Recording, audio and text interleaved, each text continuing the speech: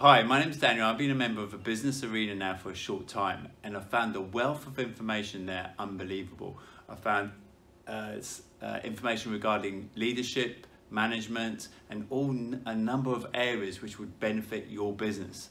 So, if you're interested in improving how you communicate with your employees, how you function, and the systems that you can put into your business, I'd highly recommend the Business Arena.